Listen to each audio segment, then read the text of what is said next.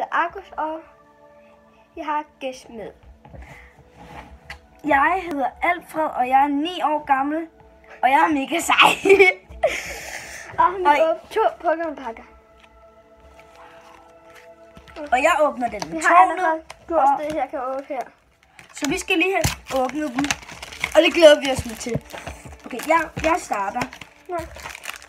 Se, bare vise den. Den har vi fået. og den har vi fået. Så det her, det er Umbreon, og den der vil jeg ikke være. Jeg åbner dem lige hurtigt. Jeg fik et lille fedt pipdyr. Det, det er godt. Nå, du kan få den her, du kan få den. Jeg vil gerne have den. Den her, jeg åbner. Vi kigger ikke på, på kokke. Husk, nej, fire til fonden. den en mere. Fire runder. En. Nej. Ikke der bagved. Så så. Er bare. En, to, tre, fire. Og om bagved. Det første er et snit her hos mig. Nej, jeg gør det først med mig. Er det fået? Okay. Og by the way, vi har lige sat musik på.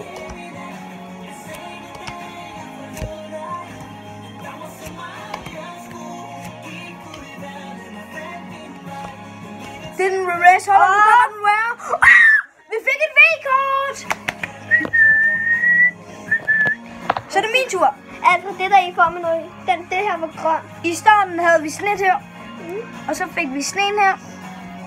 Og så fik vi en Dream Ball. Og så fik vi en Stormy giver mig? Og så fik vi Naked.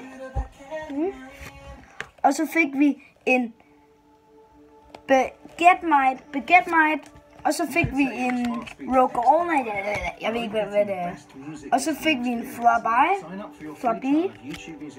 Og så fik, fik vi en Shablu. Og så fik vi en Reverse Hollow, som der hedder et eller andet. Og så fik vi vores Wear. Sæt det. Må det? Subscribers only. Åh, Og hvis I synes, det var en god video, så må I gerne like og subscribe. Og husk at følge. Og øh, shout out til Adam Bowman Stik her. Husk at følge ham ind på YouTube.